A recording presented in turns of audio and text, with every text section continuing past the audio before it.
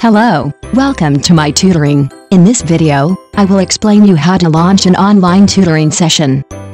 Students and tutors need to launch the tutoring session to study. The process to launch the session is same whether you are launching one-to-one session or a course session, and for tutor and student.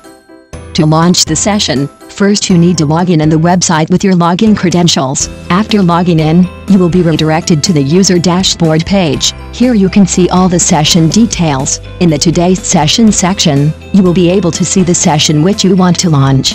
A session becomes active 15 minutes prior to its start time. Once a session becomes active, you will be able to see a rocket symbol and launch button. If you had logged in earlier, you will need to refresh the page. We recommend you to use Chrome browser for the best results. To start the session, you need to click on launch button. 15 minutes prior to start of the session, you will also receive a reminder mail on your registered email ID with launch button link.